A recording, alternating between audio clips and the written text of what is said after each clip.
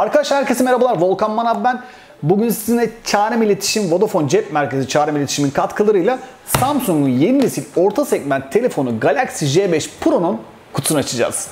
Samsung Galaxy J5 2017 yerine J5 Pro ismiyle yola devam etti. Bunun en büyük sebeplerinden bir tanesi telefon Haziran ayında tanıtılıp Ağustos ayında da piyasaya sunulmasıydı. Şimdi e, Ağustos ayının itibariyle 4 ay kaldı 2017'nin bitimine ve 4 ay için bir telefona 2017 ismi vermek oldukça yanlış olacaktı. Samsung da burada e, bu telefona A7 2017 gibi bir e, isim vermek yerine J5 Pro ile yola devam etmeye karar verdi. Bu seri herhalde anladığım kadarıyla artık bu Pro ismiyle devam edecek arkadaşlar.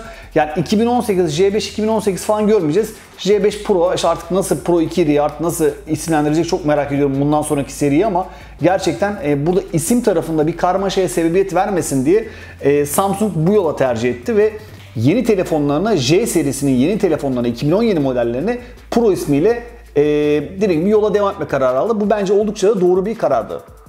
Her zaman olduğu gibi kutu açılışından evvel telefonun biraz teknik özelliklerinden bahsedeyim. Çünkü dediğim gibi dolu dolu bir telefon e, J5 Pro. Şimdi arkadaşlar bu J5 Pro dediğimiz telefon ya da J5 2017 diyebilirsiniz bu telefona.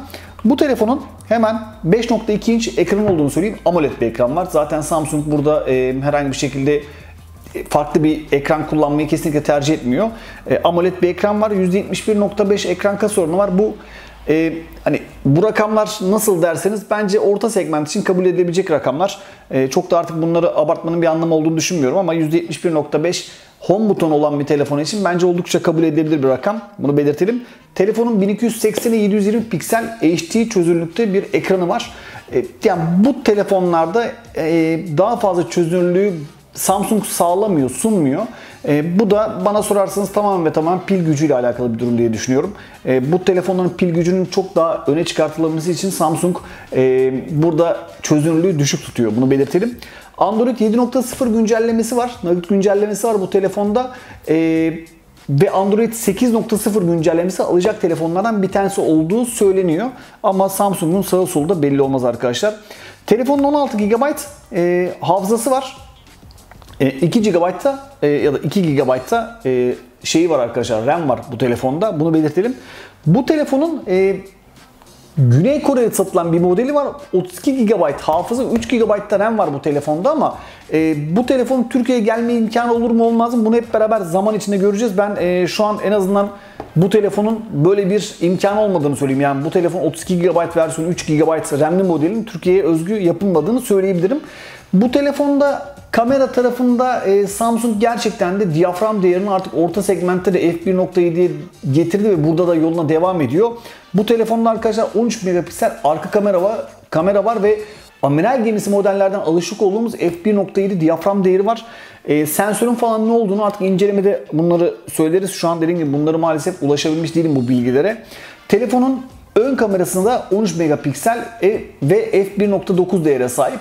Bu zaten alışık olduğumuz bir kameraydı. Ee, ben Samsung'un da hem önde hem arkada iyi bir kamera kullandığını düşünüyorum. Bunu hep beraber göreceğiz nasıl bir performansı olacak bu telefonların ama orta segment bir telefonda Samsung'un artık hani F değerini bu kadar aşağılara çekmesi de bu segmente vermiş olduğu değeri gösteriyor diye düşünüyorum.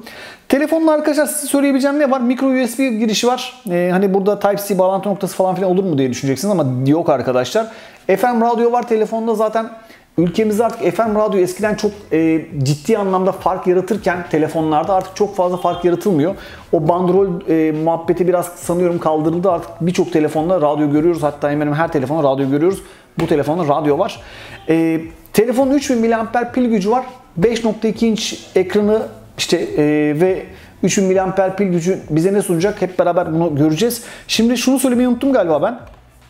Unuttum. Şimdi onu anlatırken aklıma geldi. Bu telefonda Samsung'un kendi e, Yonga Seed Exynos 7870 var. E, Galaxy A5 e, işte A7'de falan alışık olduğumuz ve 1.9 GHz'ında çalışan 7880 değil arkadaşlar. 7870 var ve 1.6 GHz'ında çalışıyor. E, Mali 830 MP2 var arkadaşlar. Bu telefonda grafik e, işlemcisi olarak.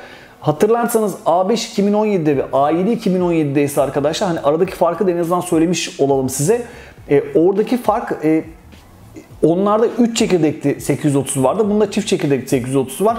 Arada nasıl bir fark olacak olmayacak bunu hep beraber zaten incelemede yapacağımız detay testlerle sizlere sunacağız. Şimdi lafı fazla uzatmayalım. Ee, Galaxy J5 Pro'nun kutusunu açalım. Bakalım telefon bize ne sunuyor ne sunmuyor. Hadi gelin yakından beraber bakalım. Arkadaşlar hemen sizlerle J5 Pro'nun kutusunu açalım. Evet buradan şuradan açabiliriz. Evet. Telefon bakalım bize ne sunuyor ne sunmuyor. Hemen telefon kutusuna baktığınız zaman böyle kabartmalı bir yazı var. Burada J5 Pro yazısı var. Kabartmalı gerçekten güzel görünüyor bunu söyleyeyim.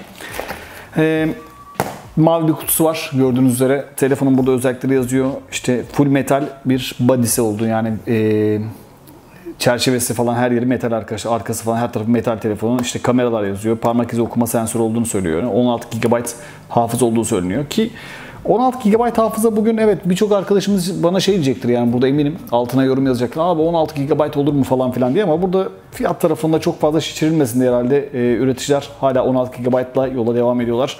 Bunu belirtelim. Şimdi telefonun hemen şuradan açalım. Biraz rahat rahat. Evet, telefonu buradan çıkartalım. Telefon gördüğünüz gibi bizi arkadaşlar karşılıyor. İlk önce telefon karşılıyor bizi. Oldukça güzel görünen bir yapıda.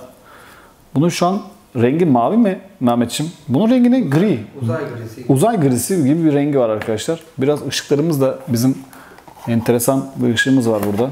Çağrı iletişim gerçekten ışık konusunda zıvanadan çıkmış durumdalar. Burada her zaman olduğu gibi arkadaşlar neyimiz var? İşte garanti belgelerimiz ve teknik teknik dokümantasyonların olduğu bir kimsenin okumadığı bir şey var. Bir adet iğne çık- çıkıyor buradan. Bu iğne e, yani benim bugüne kadar gördüğüm en basit iğne. E, çok gerçekten de iyice basitleştir- basitleştirilmiş. Eskiden bu iğnelerde artık e, markalar falan filan yazardı. Tel halinde veriliyor artık. Artık fiyattan nasıl düşeceklerini insanlar şaşırmış durumdalar. Bir adet kulaklığımız var. Bu kulaklık e, çok net söyleyeyim çok kötü görünüyor. Bu kulaklığın kesinlikle ve kesinlikle yani bu segmentte ki şu an bu telefon 1599 TL seviyesinde satılan bir telefon. Ee, bana sorarsanız daha iyi bir kulaklığı bu modeller hak ediyor. Telefonun evet kalitesi çok güzel. Telefonun kendisi çok güzel ama içinden çıkan aksesuarların da mutlaka kaliteli olması gerektiğini düşünüyorum ama artık çok da fazla bir şey söylemeyelim. Her markanın vardır kendi çapında bir düşüncesi. Burada bir tane e, hızlı şarj aletimiz çıkıyor mu diyeceğim. Hayır, hızlı şarj aletimiz değil arkadaşlar. 1.5 amperlik bir şarj aletimiz var burada. Belirteyim en azından okuyabildiğim kadarıyla böyle. Benim gözlerimde bir problem oluşmaya başladı galiba Mehmet. Ben ciddi anlamda bunları okuma, okuyamaz noktaya geldim. 1.56 evet yazıyor.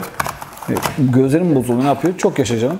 Burada e, bir adet de micro USB şarj e, data kablomuz var. Mehmet, Mehmet yine hapşırdı. Neyse sıkıntı yok kardeşim. Çok yaşa inşallah. Beraber yaşayalım. Burada dediğim gibi bu kablo da biraz bana kısa geldi. Yani e, sadece 3 tane boğum var burada. Bir de şurada var 4 boğum bir kablo var. Biraz bana kısa geldi. Hakikaten tam bir e, hani firma nasıl acaba ben burada şeyden kaçabilirim e, diye anladığım kadarıyla düşünmüş ve buna çözümün de bu şekilde aksesuarlardan kısmak olduğunu karar vermiş. Ya Çin telefonlarını falan görüyoruz bunları ama Samsung gibi markalarda bunları daha fazla dikkat etmesi gerektiği benim için e, öyle düşünüyorum. Yani Samsung daha fazla bunlara dikkat etmeli. Sonuçta Samsung bir Çin markası değil arkadaşlar. E, hepimizin çok sevdiği bir Kore markası. Bakalım şimdi buradan şu telefonu çıkartabilirsem. Evet. Evet. Telefon e, açılıyor. E, Galaxy S5 Pro yazıyor. Telefon açılıyor. Telefonun biraz sağına soluna bakalım dilerseniz. E, şurada şunu kapatalım da en azından e-mail numarası göründü falan demeyin sonra bana.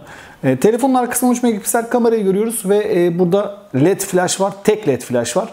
Burada arkadaşlar e, şurada gördüğünüz gibi işte anten girişlerini görüyoruz. Bu anten girişleri bana sorarsanız oldukça güzel dizayn edilmiş arkadaşlar. Yani hakikaten güzel dizayn edilmiş. Telefona daha farklı bir hava katıyor. Ee, ya bu gri rengi de gayet güzel görünüyor. Yan tarafta A serisine alışık olduğumuz arkadaşlar burada bir hoparlör var. Ee, ve güç tuşu var. Daha sonra hemen bu tarafı çevirdiğimiz zaman zaten e, bunları çok detaylı bir şekilde sizlere incelemede göstereceğiz. Ses açma kapama butonlarını görüyoruz. Yekpare bir alüminyum kasa var.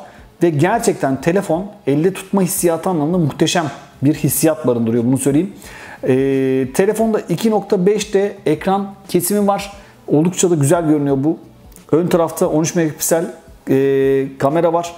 Yan tarafta arkadaşlar LED flash'ı görüyoruz burada. Bu da önemli. Değil mi o LED flash mı? Hayır o LED flash değil arkadaşlar özür dilerim. Yakınlık ve ışık sensörleri herhalde onlar arkadaşlar. LED flash mı diye düşündüm bir an ama LED flash değil. Zaten özelliklerde öyle bir şey yazmıyordu. Ben de şaşırdım bir an öyle bir şey çıkınca. Ee, burada arkadaşlar kapasite tuşları görüyoruz. Son uygulamalar tuşu, geri tuşu ve parmak okuma sensörünü burada görüyoruz. Nasıl bir performansı olacak telefonu hep beraber göreceğiz. E, kutu açılışlarında çok fazla e, şu şeye girmiyoruz. Yani işte arayüzü gösterelim falan filan buna çok fazla girmiyoruz arkadaşlar. Bunun sebebi incelemede en azından daha rahat bir şekilde bunları geniş geniş göstermek için. Bir de bunların kurulumları var, şunlar var, bunlar var. Ben şunu söyleyeyim. Samsung C5 J5 özür dilerim C5 diyorum. J5 Pro e, kalite tarafında, malzeme kalitesi tarafında gerçekten çok ciddi anlamda yol kat etmiş ve az önce de söylediğim gibi e, tasarım tarafında mükemmel bir işe imza attığını görüyorum. Ben J5 Pro'nun oldukça başarılı bir telefon olduğunu düşünüyorum. Bakalım dediğim gibi telefon bize neler sunacak, neler sunacak hep beraber göreceğiz. Ayrıca telefon üst tarafında da bu e, anten çizgilerinin devam ettiğini, şu aşağıdan gelen anten çizgilerinin yukarıda da devam ettiğini ya da aşağı altta da aynı şekilde buralarda da devam ettiğini görüyoruz. Oldukça başarılı telefon. Bunu söyleyelim. Bakalım telefon e, incelemesinde bize neler sunacak. Bunu hep beraber göreceğiz. Ben telefonu şu aşamada e, telefonun kendisini çok beğendim. Aksesuar tarafına mutlaka daha iyisini sunabilmeliydi. Söyleyeceğim şeyler bu kadar. İncelemede görüşmek üzere. Şimdi hoşçakalın. Bay bay.